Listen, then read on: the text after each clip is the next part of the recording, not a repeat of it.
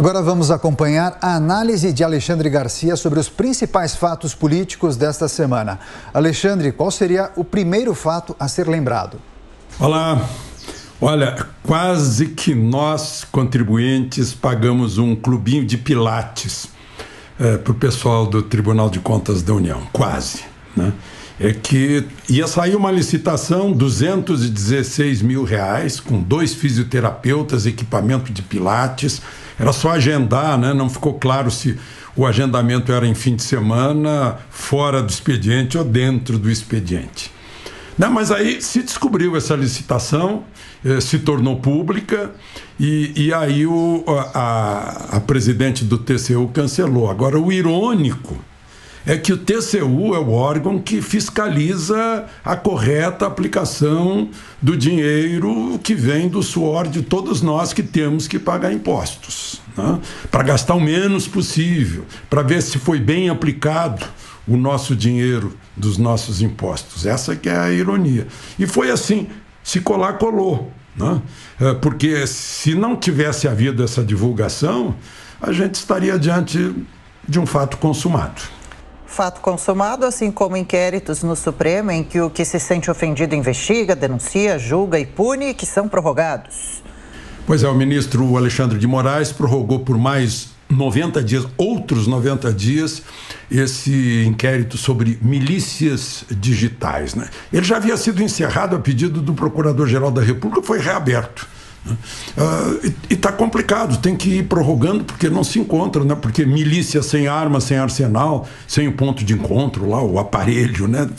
fica complicado uh, chegar a uma conclusão. Além disso, eu estou com a Constituição aqui na mão, artigo 220 da Constituição, diz que a manifestação do pensamento, a criação e a expressão e a informação sobre qualquer forma, processo ou veículo não sofrerão qualquer restrição. E mais adiante é vedada toda e qualquer censura de natureza política, ideológica e artística. Aí vem a inevitável pergunta, né? O, o que é antidemocrático? É criticar as instituições do Estado ou não seguir o devido processo legal?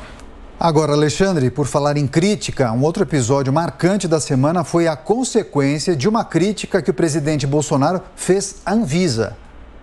É, a questão foi que o presidente, numa dessas falas, disse que perguntou o que estaria por trás de uma decisão, da decisão da Anvisa de autorizar a vacina Pfizer para crianças. Né? Uh, aí o presidente da Anvisa reagiu. Né? Uh, reagiu tomando a si uh, como se fosse uma, uma questão pessoal. Né? E, e, chegou a falar como oficial general da Marinha, tipo assim, enquadrando um capitão. Né? ele, no fim da nota, chegou a, a, a assinar duplamente né, como presidente da Anvisa e como contra-almirante. O, o foi a primeira baixa da vacinação infantil. Né? Porque acabou com uma amizade que se reunia em torno de moto. Eles saíam de moto juntos, assim que acho que é assim que se conheceram. Né? Mas, enfim, depois o presidente respondeu que não estava acusando a Anvisa de corrupção, mas uh, insistiu, disse que uh, quer saber o que há por trás dessa, ele chamou de sanha vacinatória. Aí é bom a gente lembrar que o presidente da Anvisa, os diretores da Anvisa, uh, têm mandato. Eles não são demissíveis pelo presidente da República, né? eles têm autonomia. Né? Tal como acontece também agora com o Banco Central. A propósito, o presidente do Banco Central está com Covid, embora vacinado. Também a ministra Damares, a ex-ministra, a senadora Cátia Abreu, o senador Fabiano Contarato, o deputado Coronel Armando, o governador Eduardo Leite, o prefeito ACM Neto. O surto na política está grande, hein, Alexandre?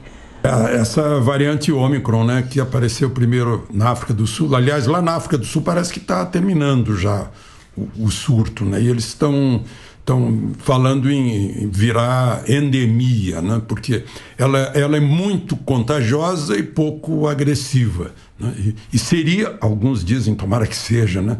seria o fim da pandemia, porque vai imunizar todo mundo. Né?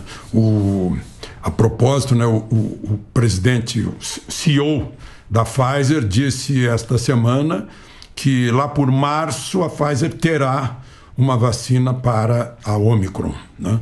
É, porque hoje as vacinas foram feitas para aquele modelo original lá de fábrica, né? que parece que já mudou bastante.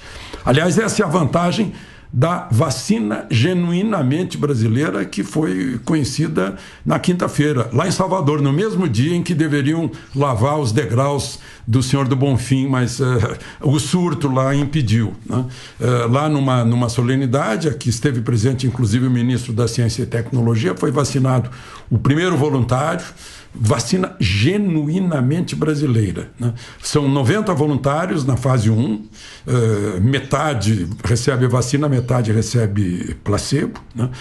Vão observar durante três meses as reações, né? a eficácia, a segurança. Depois vem 400 voluntários na fase 2, aí demora um ano mais ou menos de observação né? para ter segurança e garantir eficácia. Né? Ah, e, pois é, aí a vantagem da vacina brasileira é que ela abrange, pode abranger cinco cepas, cinco variantes. Né? Então, essa, essa é uma grande vantagem que a gente está vendo aí.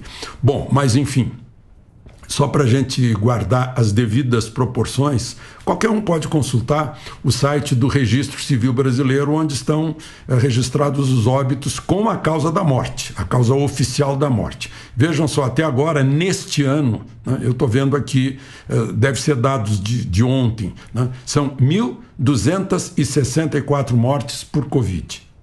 Aí, mortes por outras doenças respiratórias, 8.493. Causas cardiovasculares, 7.795. Só para a gente ter uma noção assim das relações entre as causas da morte agora neste ano. Alexandre, e os senadores da CPI da Covid que querem uma outra edição, hein?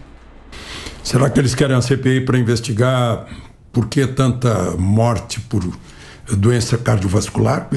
Só que isso é, é, é todos os anos, é sempre assim, né? É, falta dar mais atenção às doenças do coração, né? Mas, enfim, é, o problema é que eles estão descobrindo agora que fizeram a CPI muito cedo, que o ano eleitoral é agora, não era o ano passado. Né? Eles estão precisando se reeleger, né?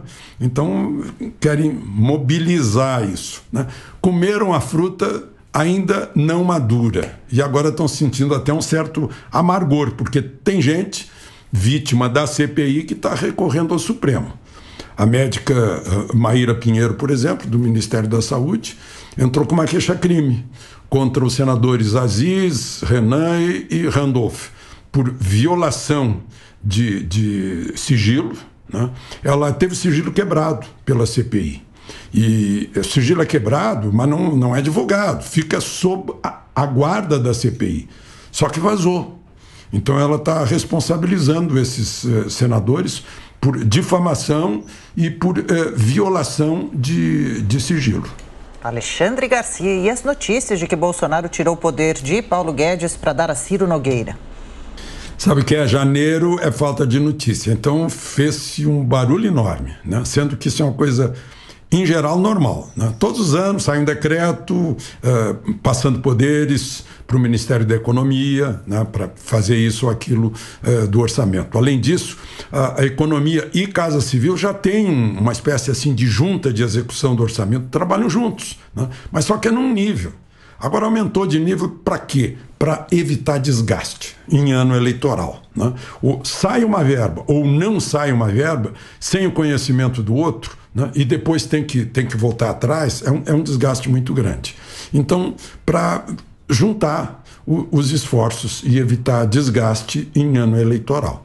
Nos meus 45 anos de Brasília, cobrindo economia e cobrindo o Palácio do Planalto, eu sempre vi isso. Sempre vi isso. O, o ministro do Gabinete Civil é o meio de campo. Né? Vamos comparar com futebol, que já que parece que está valendo é que tem que avisar os russos, né? aquela frase do Garrincha. Então, é o meio de campo. A defesa é a, é a, economia ou fazenda. E os ministros que têm que marcar gol são, são os atacantes, têm que receber a bola com fluidez. Né? Esse decreto está dando fluidez à bola. É isso que aconteceu. Não tem nada de tirar poder de um, dar poder para o outro. Né? Fizeram, é mês de janeiro, é, falta de assunto é isso mesmo. Né? E já que eu comparei com futebol, Estou saindo de campo, volto na semana que vem. Aproveitem o fim de semana. De Brasília para a Jovem Pan, Alexandre Garcia.